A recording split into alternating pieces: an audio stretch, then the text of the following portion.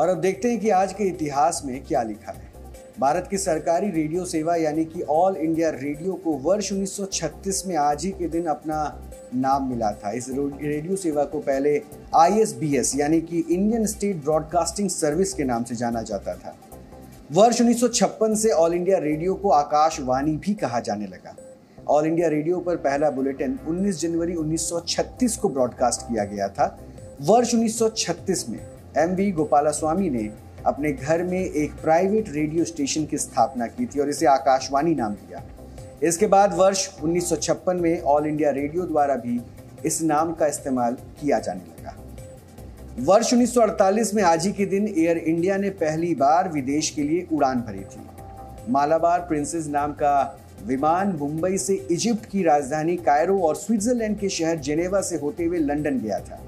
इस विमान में 40 सीटें थी और इसमें जे टाटा और जामनगर के नवाब आमिर अली खां भी सवार थे। मुंबई से लंदन पहुँचने में इस विमान को 24 घंटे लगे थे। हालाँकि अब सिर्फ़ 10 घंटों में ये दूरी तय हो जाती है।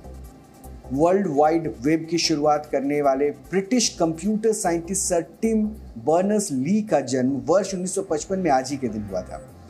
इंटरनेट के आधुनिक स्वरूप को इजाद करने का श्रेय टीम बर्नर्स ली को ही दिया जाता है। टिम बर्नर्स ली अगर चाहते तो अपने आविष्कार के दम पर बहुत सारा पैसा कमा सकते थे, लेकिन उन्होंने सबके बारे में सोचा और इंटरनेट का विकास दुनिया को जोड़ने वाले एक मज़बूत धागे की तरह है।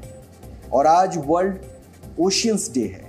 पूरी दुनिया के महासागरों और उसमें मिले प्राकृतिक संसाधनों के बचाव के लिए संयुक्त राष्ट्र ने वर्ष 2008 में इस दिन को आधिकारिक तौर पर महासागरों को समर्पित कर दिया था इस वर्ष वर्ल्ड ओशियन डे का विषय है प्लैनेट्स ओशन द टाइड्स और चेंजिंग Z News.